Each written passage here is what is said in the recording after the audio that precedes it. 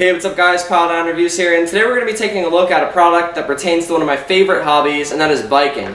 Now, I've been biking for a few years now, and as you bikers in the crowd may know, uh, while it is tempting, wearing headphones and earbuds while you're uh, on a bike ride can be dangerous, and also in many other states it's even illegal. So what one company called Audible Rush did is they developed a product that can be placed on the stem of your bike that can encase your music player and play your music out loud. Audible Rush offers several bicycle speaker models that you can choose from, some ranging to an upwards of $200, but the one we're going to be taking a look at today is the Jam Lite Essential, which is $45 on their website and can also be found on Amazon.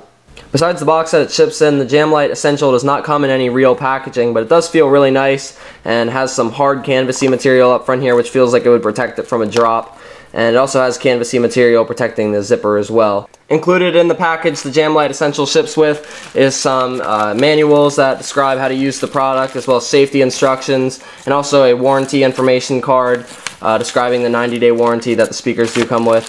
And then there's also a quick release mount for you to put on the stem of your bike to allow you to quickly and easily put on the speakers and take them off. Up front here you have two speakers for stereo sound and if I had to guess based on their sound volume and size I'd say that they're probably about 2 watts each giving this device a total output of 4 watts or so but I'm not entirely clear on that. And also up front here you have a 3 volt amp underneath uh, which allows you to control the volume of the speakers while you're biking. Now the company says that the device is not waterproof, but my guess is, just based on the feel it, it could withstand some moisture. Probably if you got caught in a drizzle or something you'd be fine, but you can just stick it in your jacket pocket since it's small enough. Taking a look inside here, there's a battery information card as well as a warranty information card on the back where if you register the product within 30 days, Audible, Audible Rush will extend the warranty from 90 days to a full 12 months, which is pretty cool. And also there's a foam backing right here, which will help protect your iPod or phone once you plug it in with this 3.5 millimeter audio jack. And I did try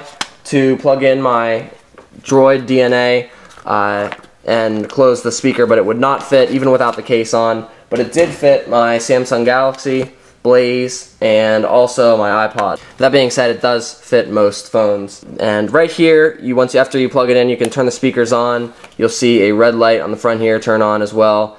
And inside, the speakers do not use a rechargeable battery. They actually use two AA batteries. You can buy rechargeables for about five or six dollars though.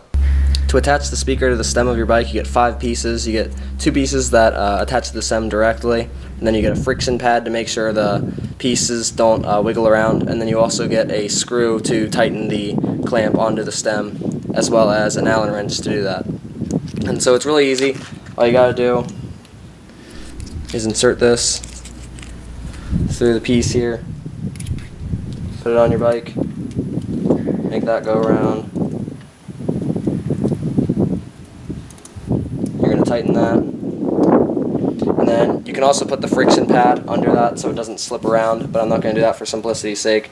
And then you can also uh, put the screw underneath here and tighten it uh, to make sure it does not fall off. I'm not going to do that as well, but it's really easy. And then also, to get the speaker on, you just slide it into place, and then you're done.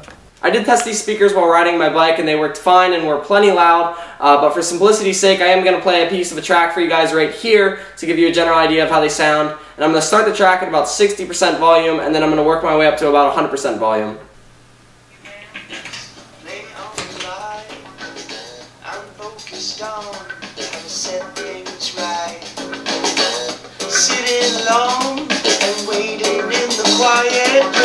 Revelation comes with drums. I can't deny it. Oh, no just moving. Gotta get over the shutdown.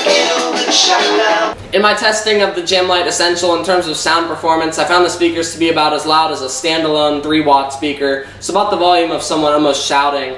Um, that being said though, there was no distortion even at maximum volume regardless of how much bass or uh, how many instruments were in the track that I tested, so that was pretty impressive. In terms of sound quality, it's pretty acceptable. Uh, all the songs that I tested, uh, the instruments and vocals sounded and came out pretty clear. The speakers do sound relatively flat overall and lack a lot of depth, but that is a given given the slim profile of the device. In summary, the Lite Essential by Audible Rush is a bike speaker that's lightweight, easy to install, and will play music uh, loud enough for almost any biking expedition, and I highly recommend it for anyone who's looking for an affordable, entry-level bike speaker and who doesn't mind uh, messing with batteries every now and then or buying rechargeables. So that's it for my review. Thank you guys for checking it out. As always, if you got any questions, you can inbox me or comment in the comment box below. And don't forget to like and subscribe, and I'll see you guys in my next review.